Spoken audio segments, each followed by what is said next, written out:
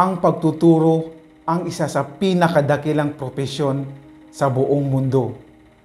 Ang mga dakilang guro ang nagbibigay at nagtuturo ng mga aralin sa kanilang estudyante sa elementarya, sekundarya at sa iba pang universidad.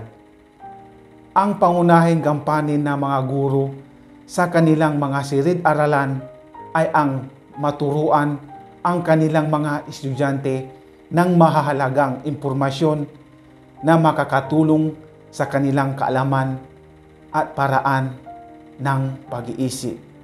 Sino TV po